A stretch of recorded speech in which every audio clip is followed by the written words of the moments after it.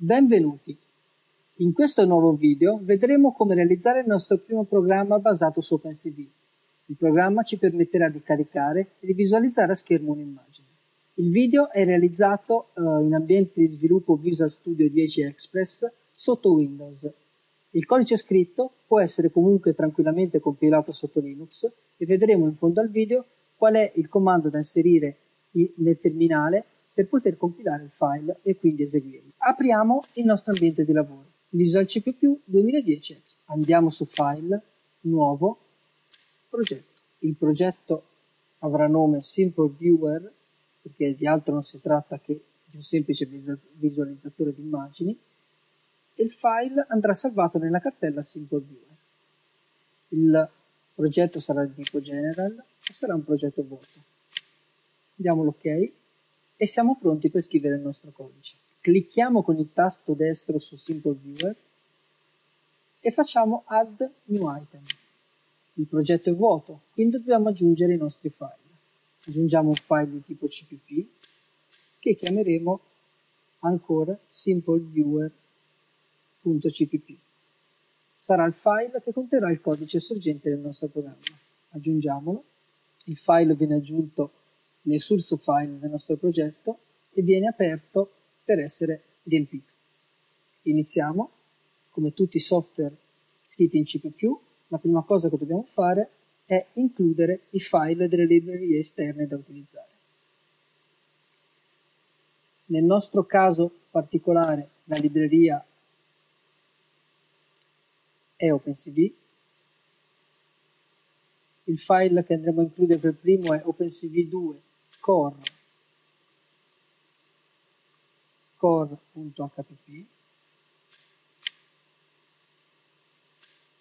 andremo a includere un secondo file. Highguy highguy.hpp Il primo file fa parte del modulo core e contiene la definizione di tutte le strutture dati principali di OpenCV. È il modulo principale di OpenCV e andrà incluso nella maggior parte, se non in tutti, i software che andremo a realizzare. HiGuy è dei, un altro modulo fondamentale e permette di caricare immagini da disco, di visualizzare immagini a schermo, di caricare flussi video da un file video oppure di visualizzare, di catturare flussi video da dispositivi esterni come una webcam, come una telecamera Firewire e via così. A questo punto possiamo iniziare a scrivere il codice della nostra funzione principale main e la prima cosa che andiamo a fare è quella di dichiarare un oggetto di tipo mat. Lo chiamiamo image come ben capirete dal nome, image conterrà i dati caricati da disco, i dati della nostra immagine. L'oggetto si chiama mat, l'oggetto è una matrice. Infatti, le immagini non sono altro che una matrice bidimensionale di dati. Utilizzando una funzione del modulo HiGuy che si chiama ImageRead, possiamo andare a leggere l'immagine da disco nel nostro caso particolare, l'immagine contenuta nella cartella Devel, in una cartella appositamente creata che si chiama test data e in onore al rover che è appena atterrato su Marte, l'immagine si chiama marsocuriosity.jpg. A questo livello voi potete inserire qualsiasi path di qualsiasi immagine che volete caricare. OpenCV è in grado di aprire immagini tipo JPEG, di immagine TIFF, immagini PNG e altre tipi di immagini. Quello che dobbiamo fare però è inserire un controllo per verificare se l'immagine è stata effettivamente caricata. Possiamo aver scritto un path sbagliato oppure possiamo aver fatto caricare a OpenCV una struttura dati che lui non conosce. Immagini, ad esempio, realizzate con Photoshop oppure immagini di qualsiasi altro tipo, differente da quello che lui è in grado di leggere. Se questo è il caso, usciamo dal software ritornando il valore meno 1.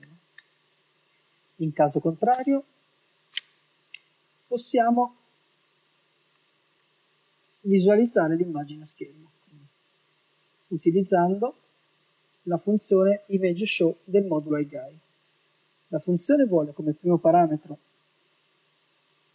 il nome della finestra che visualizzerà l'immagine e come secondo parametro l'immagine da visualizzare. E terminiamo la nostra funzione. Il codice così scritto vi anticipo che non funziona. Infatti, una volta visualizzata l'immagine, subito andiamo a fare un return 1 e la funzione esce, terminando il programma e quindi non dando il tempo all'utente di visualizzare a schermo quello che effettivamente abbiamo caricato. Quello che serve a noi è un comando di attesa. Il comando di attesa si chiama waitKey e permette di aspettare un tempo ben definito. Scrivendo waitKey 100, il software attende 100 millisecondi e poi va avanti. Questo non è quello che vogliamo, noi vogliamo che il software attenda un tempo infinito e quindi possiamo mettere 0 oppure lasciare vuoto il parametro. In questo caso OpenCV farà in modo di attendere all'infinito che l'utente prema un tasto. Siamo pronti? Possiamo compilare il nostro software ed eseguirlo. Come mi aspettavo, l'ambiente di sviluppo ha ritornato un errore. L'errore è l'errore classico che viene fatto le prime volte che si affronta la programmazione con OpenCV o la programmazione in generale in ambiente Visual Studio. Semplicemente non le abbiamo detto dove andare a cercare il file core.hpp. Ogni volta che noi utilizziamo un modulo di OpenCV, dobbiamo dire all'ambiente di sviluppo dove andarlo a cercare. Quindi clicchiamo ancora con il tasto destro su Simple Viewer e clicchiamo su Properties. Andiamo su VC++ Directories, nel campo Include Directories selezioniamo il path ed espandiamo e premiamo Edit. Aggiungiamo una nuova riga premendo il tasto opposito e clicchiamo sui puntini.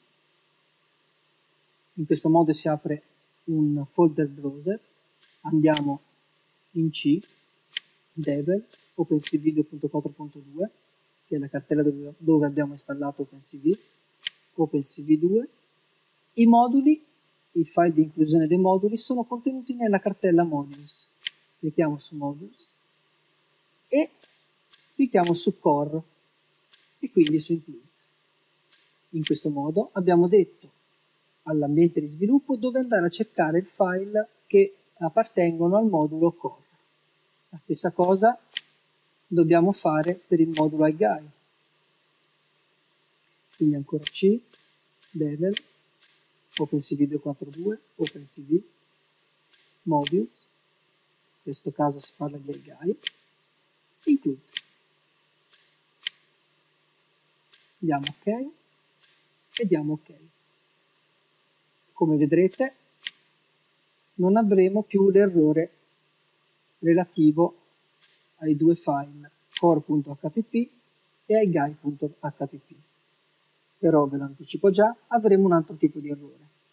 In questo caso non si tratta più di un errore di compilazione, ma si tratta di un errore di linking, ossia il nostro ambiente di sviluppo, il nostro linker, non sa dove andare a trovare il codice sorgente della libreria OpenCV. Il codice già compilato che appartiene alle DLL di OpenCV. Ecco l'errore. Clicchiamo ancora su no. Come vedete, il linker ci sta dicendo che non sa cos'è wait key, non sa cos'è image show, e non sa di che tipo è, come è fatta la classe mat. Beh, andiamoglielo a dire. Quindi clicchiamo ancora con il destro su Simple Viewer, andiamo su Properties, Library Directories, ancora Edit, creiamo un nuovo path, clicchiamo su i tre punti, C, level, OpenCV 2.4.2, OpenCV, build. In build ci sono tutti i file precompilati della libreria OpenCV. Nel nostro caso vogliamo il file a 32 bit, quindi andiamo in x86, a 32 bit compilati per Visual Studio 10, quindi andiamo in Visual Studio 10, e libro. E selezioniamo la cartella. Ora abbiamo detto all'ambiente di sviluppo dove trovare i file, non, non, gli abbiamo assolutamente detto quali sono i file da, da trovare. Allora andiamo su Linker, Input, clicchiamo su Additional Dependencies, espandiamo il campo, Edit, e ad, andiamo ad aggiungere i file di libreria dei due moduli che abbiamo utilizzato. Tutti i file della libreria OpenCV utilizzano la medesima convenzione per il loro nome. Nel nostro caso dobbiamo trovare il file del modulo core, quindi inseriamo il prefisso opencv underscore core, che è il nostro modulo, la versione corrente della libreria, punto libro. Per il modulo iGuy è analogo, il prefisso opencv underscore, il nome del modulo iGuy, la versione, libro. Premiamo ancora ok e premiamo ok.